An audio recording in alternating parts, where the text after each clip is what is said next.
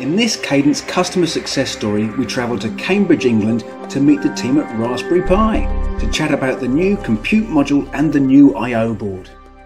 Hi guys, you're joining me today with James Adams. He's the Director of Hardware Engineering here at Raspberry Pi. And on the wall behind us, we've got loads of pictures that people have sent in from all over the world about their Raspberry. Tell me about this campaign, James.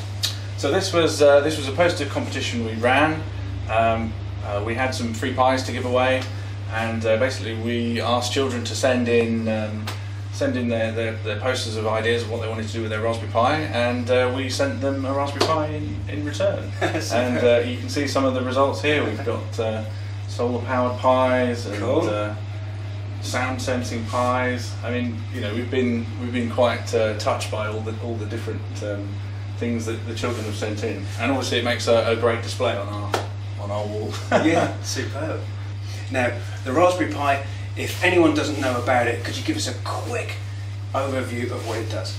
So the Raspberry Pi is a, a small Linux computer. Um, it's it, uh, it runs Linux on a Broadcom processor called the BCM2835 for, for those who care, um, which has an ARM processor and a GPU uh, which does lots of heavy lifting for graphics and video.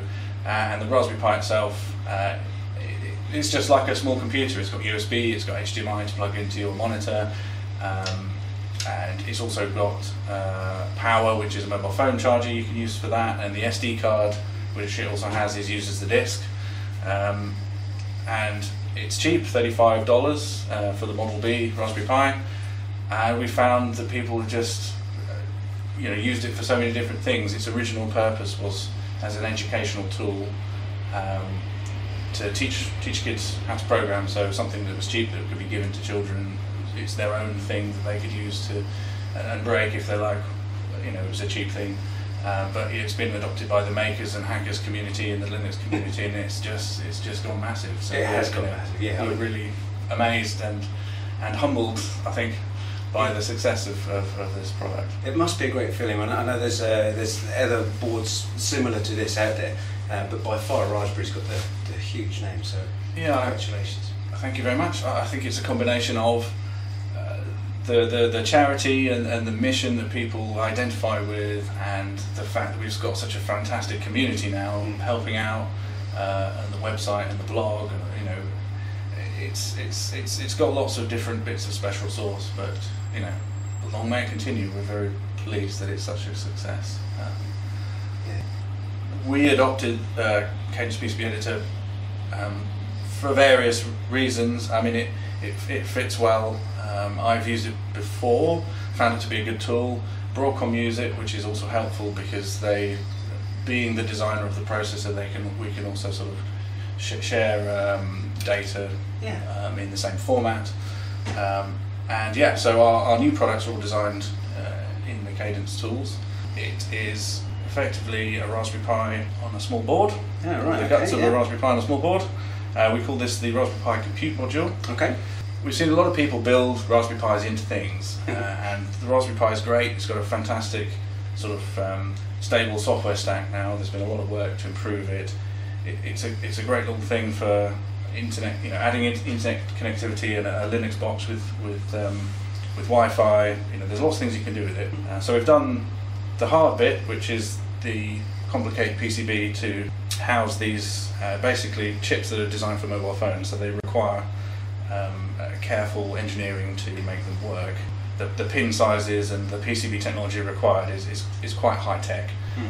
But what someone can now do is take take this board, which is high tech, mm-hmm. but they can buy it at a low price, put it into their lower tech, much lower tech board in a cheap socket, mm-hmm. and then they can make their product. So you've pretty much taken the the connectors and everything that was on the original Raspberry, reduced the size slightly, and then made an I/O board that has got USB, HDMI, power, um, but and, and, and, range of connectors. But this, you're saying this I/O board could be pretty much anything that anyone wanted to. Do. Yeah. So we uh, the product that we are going to sell um, in volume is is this little board. We also produce this thing we're calling the I/O board, which is basically a starter kit for people who want to use this module to design their own products. So this board further breaks out the pins. It, it gives the module power, which you have to do. It then breaks out the USB, the camera and display interfaces, serial camera and display interfaces, HDMI, and all the other GPIO pins. So we expect someone to buy one of these boards, mock, um, sort of prototype up their product uh, by attaching the things they need to, you know, test it's all working, and then they can go and spin their own version of this board however they like. Wow. Uh, so, uh, so yeah, we're, we're pretty excited about this. Excellent. Okay. Now you had a, a, a student in as an intern that did a board as an intern Yeah, project. so, is that right? so we had, we, so this is another little, this, this isn't a Raspberry Pi product, intern project, and he, he spent basically three weeks designing the board, and it pretty much worked first time. We only have one mod wire here. Okay. Well, and that was the first time he used Cadence PCB editor.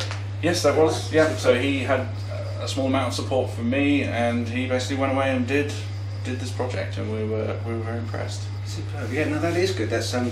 I mean, it. it uh, I mean, there's some free-form routing in there. Yeah, so we've got we've got um, uh, matched uh, phase um, differential routing in there, Mm-hmm. uh, various power, and the, the, the, the, the chip on the front, the the converter is a, a fine pitch BGA chip. Okay. So yeah, he really did a good job. Did he have specific rules underneath that BGA? Was it, were you necking down, or did you keep the, the pitch the same? Yeah, no, we we, we, we had the, the yeah the small rules are under the under the BGA, and then it's nice to be able to just have standard stuff Mm. externally. Yeah. Brilliant. So three weeks from start to finish, and uh, never used Cadence before. Yeah. if anyone tells me they can't use it, I'm, I'm going to send them one of Yeah, these. yeah, no, he, he did a he did a cracking job. Yeah, that's really really cool.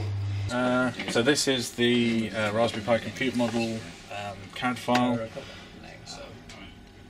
As you can see, this this is the main processor. Um, there's an awful lot of um, sort of tracking. And actually, the biggest challenge with this board, uh, because the compute module gives you basically all the I/O of the chip rather than just a subset on the Raspberry Pi we had to track, you know, all the all the pins out effectively, and that was that probably was the majority of time spent was doing that on on this board. Uh, so we've actually got an eight You mean layer actually cut that? eight layer board with you know various Put the bead on this side. four full layers of tracking and and um, ground planes and power planes. So it's it's a, it's a, it's quite a complicated board. I really like the parallel system support. Lots of good videos and uh, tutorials. I use it quite a lot. Yeah. Oh, good, yeah. And you, I mean, I know you've got a uh, closets full of things that people have, have have shown you. Should we go take a look at some of those things? And Yeah, sure. Let's, let's have a wander around the office. Cool. Yeah, so this is this is our, our table of stuff that people have. Some of the stuff that, that people have sent in. Um, we've got a lot of uh, cases for Raspberry Pis that uh, people have made.